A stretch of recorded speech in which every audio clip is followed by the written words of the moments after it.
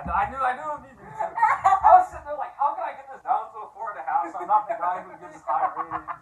I, I really like this. I really Yo, really like as soon as you gave Boyz n the Hood four and a half, I was like, Anthony's gonna be the one who gives it a five first. I know. It's gonna be like a good year before I give a movie I a know. I, I don't even know who our first one's gonna be. I gotta wait for that. Honestly, The first one, you know. poetic justice was real close. Poetic Justice was close. That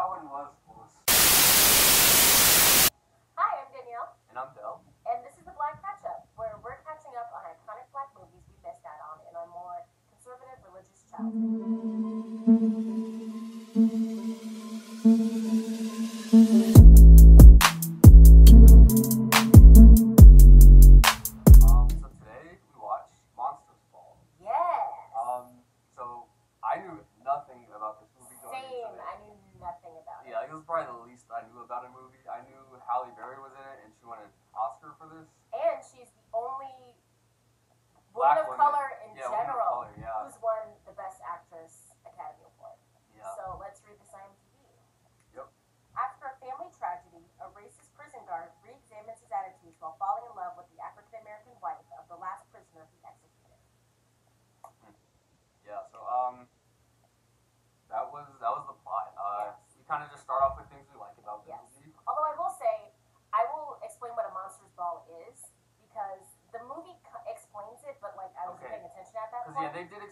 Missed that line, and I was Yeah. like, okay, I don't know what Monsters Ball is. Yeah. So after we watched it, I was like, oh, let me find out what happened in this Yeah. movie. What's a monster's ball? And a monster's ball is basically after someone is like getting, once someone's getting executed, Mhm. it's just all the officers who want to just be involved and watch. That's a Oh, monster's ball. okay, okay. So it's because because in the movie we saw the um ma- the guy getting ex- PJ getting getting executed, and there was just like this room. It was like glass, and then there was this room of people just sitting Just there. watching. Yeah. That's the monsters ball. People just sitting and watching and being a part of the execution, essentially. okay. Okay. So now that that's out of the way, we're gonna go over what we liked about this movie. Um, You wanna go yeah, first? so um, yeah, I guess I'll start. Um, I guess it doesn't really need to be said, but Halle Berry's acting Oh, so good. Um, amazing. Uh, yeah, like just great throughout. Um, think in the beginning half of the movie, there was just a lot of emotion she had to show. yeah, Um, just due to like her husband was just executed. Like that scene with them meeting in the prison, yeah, you can kind of just see all her stress, all her tension with like the cigarettes and everything. yeah. So you could see that she did very well with that. Then with her son, that one scene where like he's like eating a, cho- she catches him like eating a chocolate bar and then like beats him up a little bit, but then is Yeah. like crying right after. You know, so she just showed like such a broad range Yeah. that like you easily see why she won this Oscar. Yes. Uh, going off of that, I think everyone's acting was pretty good, but Mhm. Halle Berry's was like top notch. Yeah. And I think what helped was that she had so many complicated emotions she had to portray. Mm-hmm. So a specific scene that I liked was when Halle Berry is talking to um, Hank, the prison guard. Yep. Um, it was, I think it was one of the times he like took her home or something like Mhm. that. And they're like getting drunk, and just like that entire scene Yeah. was so yeah. well acted because she's like Yep. kind of like between she's drunk and she's like laughing and crying and like Yeah. happy and it's- it's like you can tell like because she's had so much happen like her son died Yep. her husband was Was executed, executed, yeah. and she's like, Like her home was about to yeah be she's about to be foreclosed. foreclosed Like, on she's about to lose her home and there's this guy and she had no car so she had to Yeah, like, get a ride yeah. home like so much shit was happening to her and Yeah. she was just like having this kind of like fun breakdown it's Yeah. not fun it wasn't fun for her it was fun to watch because it was Yeah. so well acted yeah. but it was really good. No, I, I had the same scene written down in my notebook. I called it the "make me feel something" scene. Yeah. Because I like to me that was kind of the climax of the movie. Like yeah, that scene where she's just like, okay, like I this is rock bottom. I have nothing to lose. Like yeah, just give me anything. You Yeah. know, like give me something. And he was like kind of in a similar position. I think. Yeah. You know. that's where their relationship kind of made sense. Because Yeah. it was like they're both kind of lost at Yep. this point. Yep. So Yep. that was good. And um, so yeah, I guess the kind of next point, bouncing off everyone being a, a good actor, I had the guy Hank down. Um, specifically, just how they wrote the character, I guess. Yeah. Like he was very heartless throughout the movie, you know, except for um, Leticia Halle Berry's character. Yeah. And I thought he just played that very well. You know, like even the scene we were just talking about, like for most of the scene, he was kind of just stiff, and it took like a very long time for him to kind of give in, I guess. Yes. And um, also, um, I want to point out the last thing he said to his son was pretty much the same as the last thing he said to his father, and they were both like very just heartless statements. Like Yeah. his son asked him, uh, "What does he say? Did you ever love me or did Yeah. you ever like me?" And he's like, "I never liked you," and bam, you know. Yeah. And then when he leaves his father in the uh, nursing home, he said, he says, uh, he says something like, "I've always hated you," or something like Yeah, that. So it just same thing he shows that kind of like heartless tone where Yeah. this this is the last thing he's saying to these people. And again, you see it in the movie, like after the execution, when he like beats up his son for like getting sick during this whole thing. it. And then later in the movie, he sees the picture in Halle Berry's bathroom And, and he throws gets up sick. and gets sick. So I just thought there were a lot. There was a lot of that in the movie, like a lot of just scenes that kind of came up later. So Yeah. um, yeah, that, that was kind of my second thing, I guess. Uh, one of the things that I liked was uh, when Heath Ledger's character kills himself. He's Hank's son. I just that scene took us both by surprise because Yeah, he had like the gun and he was like waving it around at his dad because it was after the execution and his dad was like, "Get out of my house, you're pansy." Yeah. So he like is like, "Get off of me, crazy old man," and like points a gun at him, and he ends up killing himself. But Mhm. it was I just like the way he did it yeah. because most of the time when you think, oh, someone with a gun kills himself, you're like in the head. But he like specifically like yeah. shoots himself yeah, in the heart, Yeah. and I think that really goes with his character because he was kind of a softie. Yeah. He was. He was like yeah. ma- way more delicate than his dad let him be, and Mhm. his granddad, and he just was such a bleeding heart. And he and it was him with the prostitute in the beginning. I double checked. Oh, It was really? him. It was Oh. the prostitute in the beginning. And he like apparently asked the prostitute out, and she was like, "Go away, Oh. I'm a prostitute. Don't do that." But um, yeah. yeah, just he was a softie, so I think it was very telling and like Yeah, fitting for him to yeah. shoot himself in the heart. Yeah, and um, I actually had that same scene listed down just because the uh, the cinematography in that scene. There was that scene right before he kills himself. Mhm. He's sitting, he's standing like next to the couch. Like, of course, he's like waving the gun around. He chases his Yeah. father downstairs. The whole scene is tense. And there was this one shot where it's him very off center. Like, he's pretty much on the edge of the screen. Yeah, But in that like two thirds focal point is the couch yeah, like the leather couch. And so I was watching it, I was like, that's odd that they chose that shot, but like that's a nice leather couch, I guess. and then it like right after proceeds to that scene of Did you ever love me? He's like, I never liked you or I never loved you. And then he shoots himself, and then a few scenes later, you see him cleaning up the blood on the couch, on that same couch. So I thought the cinematography was just very good Yeah. in this movie. Um, there were just a lot of like themes throughout. Like you even mentioned it, like there were like three scenes of him cleaning up blood. Yeah, Like pretty much for He has to every clean up blood a for every death that happened, he was cleaning up blood almost, you know. yeah. So um, I had that listed down. Then I had um, there were a lot of like I think door closing scenes that just added to the tension of the whole movie. Like um in the in the beginning when they were visiting the P Diddy in prison, yes, there was just a long shot of that, that table door, and like, the cigarette kind of keeps kept going, and then the, you just hear the door shut. Um, the other the other theme I noticed throughout was the smoking theme. yes. Um, it was very much used to show like these characters being stressed out and things like that. And so you had things like um, there was one cool scene in the beginning where they were showing the parallel between Halle Berry and P Diddy, and they like Halle I think Halle Berry lights her cigarette, and then um, at the same time like P Diddy's getting his lit, and then he's smoking. Um, yeah. I also That whole scene in the beginning, up until his execution, was really well done. yeah no it was very It was very very well good. done very well done. But um, I also believe Halle Berry stopped smoking by the end of the movie, or at least it wasn't as I didn't notice it. Yeah, I didn't see her smoking that like much it, pretty much after our like climax scene we just talked about, I, I don't think she was Think smoking she that much, you know. So um, I just thought that was just it was just very good how they kind of kept those themes throughout. Yeah. Um, I did like the tension in the scene between um, Halle Berry and Hank's dad. mm, That whole yeah, scene where she's like giving Hank, she's like coming to give Hank a present, and she's just with the dad. Both of us were like, someone's gonna die. yeah, Like, this yeah. is not good.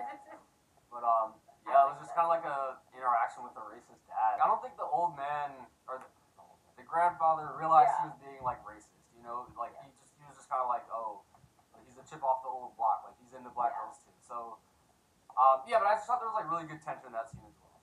Very good tension. That's all I had. Other than just the acting as a whole was very good. Um, I think I said. Oh, okay. The last thing I wanted to touch on that I thought was very well done in the movie was the use of the drawings. The drawings uh, the father did, and um, then later there was a scene where the son had like had his drawings, Yes. and even in that breakdown scene, like it started off with her showing him the drawings, you know, and in the beginning when he gives the drawings to the, the both his guards or whatever, he signs them. So like it's like at that point where like I know this dude has to know. Like he has like he has to recognize that signature. Yeah. And then um in the end, you know, in that final scene where they're like sitting on the porch, she Halle Berry sees the drawings and recognizes them as, you know, her husband's. Yes. And while I thought at first like that would lead her to just be like more spiteful, and be like, Oh, why didn't you tell him? You know, like this is the man that killed my husband kind of thing. Yeah. I think it actually had the opposite effect. And she was more like, oh, if my husband cared about these two enough to draw them these pictures, you know, they must be like special, or they must not be as Yeah. bad as they seem, or something along those lines, you know. Um, and then I also think P Diddy had a really good quote in the beginning. Um, I don't know it word for word, but he said something along the lines of like, "It takes a human to capture another human." Oh yeah. And I thought that was just like a really That good a good line, you know. So I just thought that, yeah, I just thought that was a really good line. I almost feel like the drawings kind of like showed potential in Mhm. like lives being cut short Mhm. because the son could also draw really well too. Yeah, so yeah. it's like Yeah, you, who knows where they could have gone because they were both like Exactly. described as amateurs, but then the lives are so short. yeah, and it also does something to show that kind of humanity, and, Yeah. you know, like especially when a lot of times, like in like real prisons and like you know prison situations, like the prisoners are generally dehumanized, Yeah. and so him doing those drawings and you know saying again, it takes a human to capture another human is just like very powerful. I thought it was just very powerful. Um, but yeah, I think those are all the the positives. I All have. positives. Yeah. Yeah. Um. Negative, negatives, problematic moments. Um, you want to start on this one? Um. I only have the one besides racism Mm-hmm. was the treatment of the obese son. Mm. like that just like i it's weird because it wasn't a thing where like in sitcoms where they're like just joking about someone's weight like no one will Yeah, ever love you yeah. it was kind of a thing where i don't know how to describe it where she was just like trying to save him almost because she was like you see how big she he is i don't want him to like Yeah, die or whatever Yeah, but it was like child abuse yeah. but it was also her character and like a lot it was very layered so it was like problematic but it was layers to, yeah, to like yeah. make it not as bad. I Yeah, I guess it was I one of don't those things know. where you almost like see why it was happening. Yeah, Like it was, it was pretty clear that throughout the movie she wasn't really stable, yeah, you know. And so her like having where she's like berating her son, beating him up, like making him step on a scale. I thought that was like probably the I craziest was part. like, whoa. and like on like the fact that he had that scale in his room like makes you know like hey This this, is a thing before. like his Like, mom is weighing thing. him often you especially because she was like, um, what did I tell you about that candy? So you can see like just the Mhm. pattern of that. It was like that's a conversation they de- definitely had yep yeah multiple times. Like Yeah. even this week, like yeah like she knew to recognize chocolate on his lip like Yeah. I don't think my parents have ever like noticed chocolate on my lip you know so no. yeah um okay um yeah I also kind of had the generational ra- I had racism down but I liked not liked liked is a strong word I thought it was just well done in how they like showed the different generations of racism, especially in that beginning scene with um the two uh the two little black kids outside. Yeah. Because um I think it says a lot about like how a lot of this racism is perpetuated through the family. You had like in the, that beginning scene, you had the grandfather like really complaining about these black kids in his yard, Yeah. and I think at the dad uh, Hank wasn't really that bothered you know. But I think just kind of listening to his father keep complaining prompted him to take his gun and go outside, you know. And then from that point, you know, you have the son defending these kids, you know. Yeah. But the dad still has a gun, so there's not Yeah. really anything he can do about it, you know. So I just thought like it was, it was little scenes like that where you see kind of like they're all kind of racist, but just Yeah. in like different ways and different Yeah. extremities. So I thought it was like almost well done racism on on screen. You know. But um, besides that, um, the other thing I noted that again I thought was like kind of well done, I guess, was um, they did kind of tap into a bit the like prison industrial complex. Like you Just do see, tad. you do see the prisoners kind of walking around with their like hose in a plantation with the um. The slave driver or correctional officer uh, on his horse, on his like high horse, you know, Yeah. commanding them around. So I, that that was like an uncomfortable scene to watch. But again, like that was kind of right before the guy ends up quitting his job. Yeah. You know, so like it's I don't know. I thought it was well done in that sense. Like it was meant to look as bad as it is, as it is. Yes. You know, um, like, this is the last straw. Yeah, I'll like- do racism this way, but Yeah. not this way. it's almost like after his son killed himself, he almost like his eyes were kind of open to all the wrongs that were in his life. Yeah. You know, like he, I think I feel like he really started to see things his son's way, and that kind of just led to the rest of the movie. Yeah. Um. Okay. What's Um, your rating? rating. I'm excited for this part. I'm really Okay. excited. Who wants to go? You want to go first? Go first, No, I, want you. You have You to go want me to first. You have to go first. You have to go first gave this movie a three out of five. Uh, Okay. I did like it, and I think a lot of it had to do with the acting of it. yeah. But my main problem was that um, it was a well acted movie, but things kind of weren't really happening.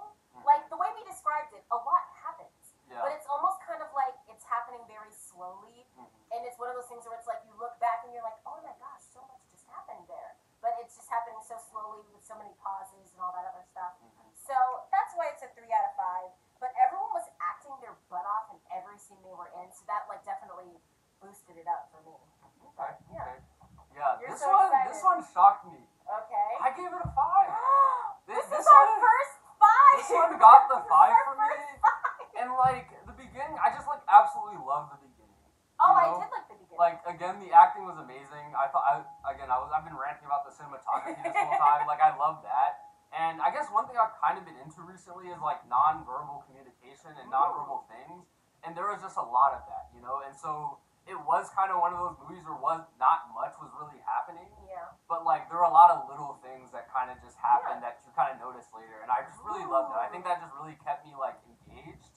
Um, I did um I did think it kind of slowed down towards the end Yeah, bit I think that might have been and got a little slow and like very just kind of romancy and I wasn't really like that almost bumped it down to a four and a half for me but what um what the reason I gave it a five was because one I was like okay no movie's gonna be perfect No. you know so like if I'm gonna be giving out this five like it won't be a perfect movie and I really want to watch this again You like do. I actually really like this I actually. I don't know why I said it like that. I kind of want to watch it again. yeah too. like I just like it was because, just yeah. oh. After talking and after like going back and looking at the Mhm. Wikipedia, I kind of want to see all the stuff that I missed because I know there's so much that I missed because it's a lot of non-verbal communication. Yeah, but I, I yeah, I just I just thought the rewatch value alone like kind of gave it that extra boost. Where I'm like, you know what, like in terms of like movies I like, I feel I feel like one of the criteria has to be would you see it again? Yes. And this one, like, I'm excited to see it again. Like, I probably I don't watch movies twice more than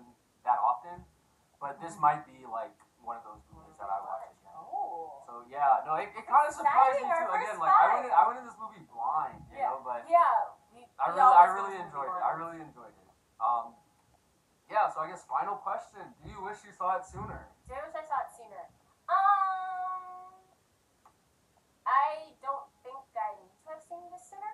Like the time that I've seen this is pretty much fine. Um, if anything, I would have wanted to see it sooner because I like the Academy Awards and I like Yeah. watching. And I wish I see more movies where like people like of color get nominated and like win.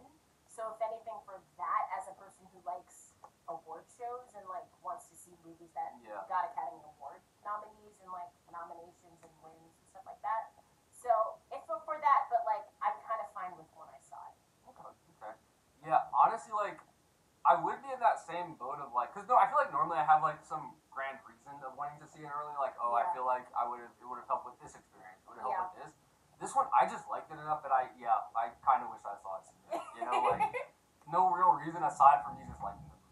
So, That's a um, good reason still, because I Yeah. think a few times I said I wish I saw it because I liked it. No, it. has. It has been. No, I, I kind of feel like I'm it. dipping into your bag a little Yeah. bit. I'm just being like, hey, I, I like this. So yeah, I wish I I, saw it. earlier.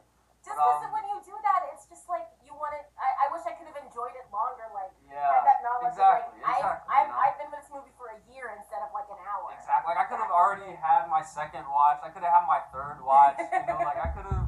I could I have seen this movie a couple times.